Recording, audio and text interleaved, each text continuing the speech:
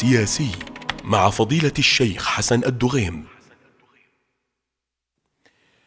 بسم الله والحمد لله والصلاة على رسول الله وعلى آله وصحبه ومن والاه واتبع هداه إلى يوم نلقاه. أيها السادة المشاهدون السلام عليكم ورحمة الله وبركاته. في الحلقة الثانية من برنامج الجدل السياسي الخلافة. هذه الكلمة العظيمة الرنانة. ذات الإيقاع المدوي في قلوب المسلمين في كل زمان ومكان.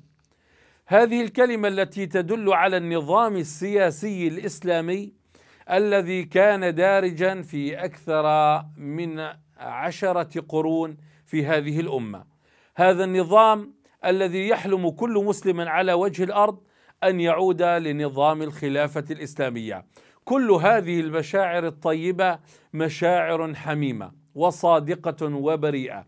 يفكر بها كل مسلم. وذلك أن عزة المسلمين ارتبطت عندما كان خليفتهم على وجه الأرض.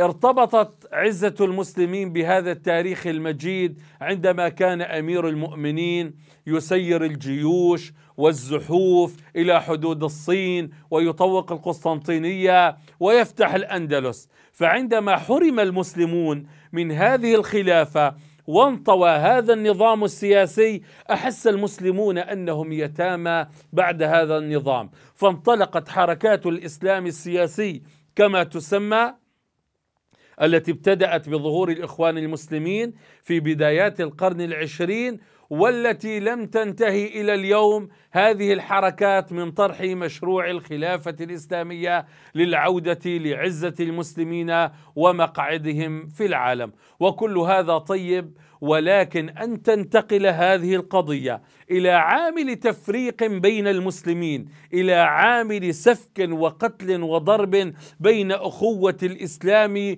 والعقيدة والجهاد ورفقاء السلاح فهذا ينبغي أن ننظر هنا ونضع النقاط على الحروف في موضوع الجدل حول الخلافة. أيها السادة المشاهدون ليكن معلوم لدينا جميعا أن الخلافة وهيكلة الدولة وشكلها وشكل النظام السياسي هو أمر سياسي لا علاقة له بالتشريع الديني أي ليس في كتاب ربنا.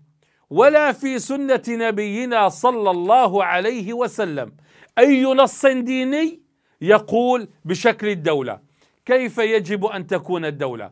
كيف يبايع الخليفة؟ كيف ينصب الرئيس؟ كيف تشكل الحكومة؟ ما هي صلاحيات الخليفة؟ ما هي صفات الخليفة؟ ما هي صفات الأمير؟ ما هي صفات الحاكم؟ هل الحكومة جمهورية أم رئاسية أم فدرالية؟ أم سلطة مركزية أم لا مركزية أم ديمقراطية أم غير ديمقراطية أم ثيوقراطية كل هذا ليس في كتاب الله ولا سنة رسول الله صلى الله عليه وسلم ابدا مطلقا. ولم يتعرض كتاب ربنا للنظام السياسي في آيه في الذكر الحكيم إلا في قيم عامة ومبادئ ناظمة لو تمثلت وتحررت أخلاقا في النفوس أنتجت نظام حكم لا يصلح لكل زمان ومكان إلا هذا النظام. ألا وهي قيم الشورى والعدالة والحرية والكرامة وأن نعطي ونضع الرجل الكفء في المكان المناسب. فتحدث مثلا ربنا عن الشورى فقال وأمرهم شورى بينهم ولم يقل أن يختاروا زعيمهم بالطريقة الفلانية بينما فصل في الصلاة والزكاة والميراث والربا عندما جاء إلى شؤون السياسة كان خطاب ربنا مجملا وأمرهم شورى بينهم وتكلم عن العدل فقال وإذا حكمتم بين الناس أن تحكموا بالعدل وتكلم عن الأمانة فقال وأدوا الأمانات إلى أهلها هذه القيم لو رعيت في المجتمع المسلم لانتج النظام الراشد.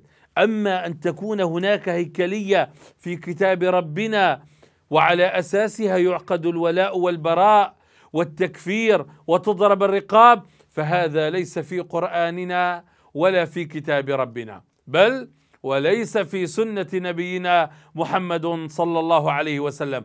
بل وستعجب إن قلت لك إن نبي الله قد التحق بالرفيق الأعلى وتوفي من هذه الدنيا وجيوشه ممكنة على الثغور ودولة الإسلام في عزها وعندما قامت حركة الردة وخشي المسلمون من انتشار حركة المرتدين كان الأولى أن يقوم رسول الله صلى الله عليه وسلم فيعين من بعده خليفة وحاكما للمسلمين حتى لا يجتاح المرتدون المدينة المنورة ويجتثوا شأفة الإسلام. ماذا كان من رسول الله؟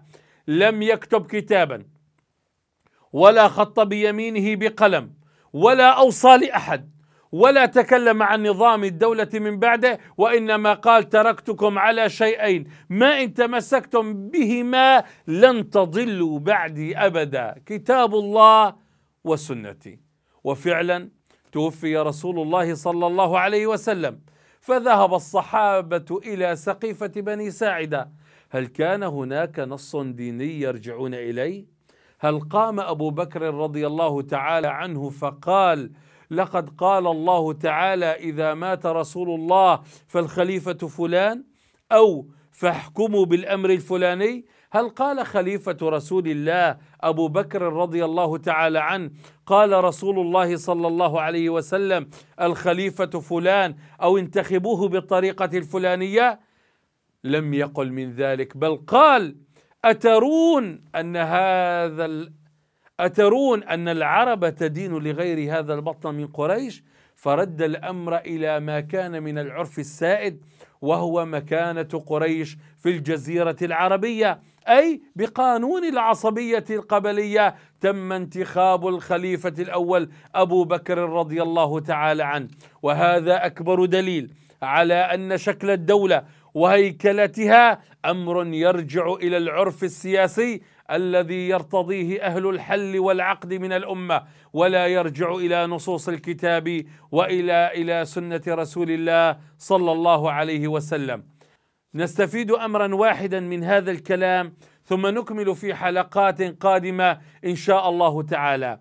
إن هذا الأمر الذي يجب أن نتذكره دائما يا أخي المسلم أنه لا يعقد على أمر سياسي يختلف المسلمون في ظنياته وقطعياته وشكلياته وهيكلياته أي أمر يتعلق بالإيمان والولاء والبراء.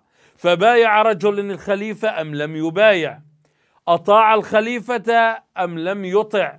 انشق عن الخليفة أم بقي مواليا له يبقى مسلما مصان الدم والعرض والمال ولا يوصف بأوصاف المرتدين والصحوات كما يفعل تنظيم الدولة الذي ادعى الخلافة اليوم وإنما عصيانه السياسي مرده إلى أمر القضاء ولا يرد إلى أمر الإيمان والولاء والبراء فيكفر على أمر سياسي مات رسول الله صلى الله عليه وسلم ولم يبين شيئا عن جزيئياته ولا احكامه وإنما مبادئ ونظم عامة. ونتعرف إن شاء الله في الحلقات القادمة على بقية مفردات الجدل السياسي حول قضية الخلافة وشكلها والدولة الإسلامية وأركانها إن شاء الله. والسلام عليكم ورحمة الله وبركاته.